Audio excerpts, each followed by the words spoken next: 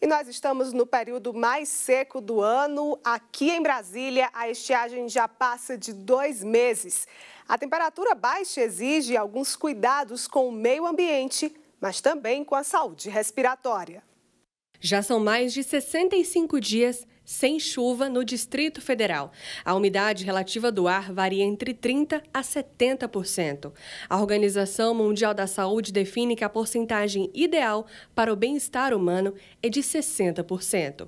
Com o tempo seco, o desconforto é quase imediato. Garganta irritada, pele ressecada, sangramento nasal, fadiga e doenças como asma e rinite. De acordo com a otorrinolaringologista, a baixa umidade do ar faz com que o nariz trabalhe de forma forma mais intensa, a fim de recuperar a hidratação do corpo.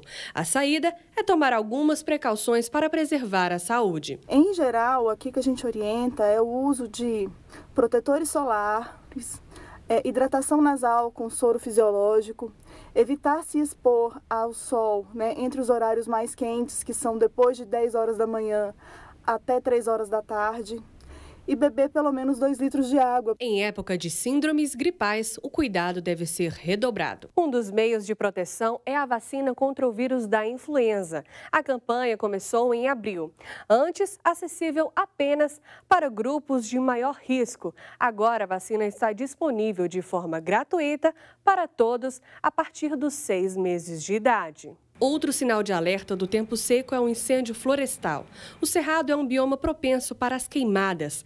Na capital federal, de maio para julho deste ano, a dimensão atingida pelo fogo chegou a 889 hectares. Por isso, alguns cuidados são necessários. Evitar queima de resto de resíduo, condutores. A gente tem aqui extensões de rodovia grande, por exemplo, a gente tem a BR-020, que passa pelo Parque Nacional e passa também pela EZCAI, que é outra unidade de conservação bastante grande.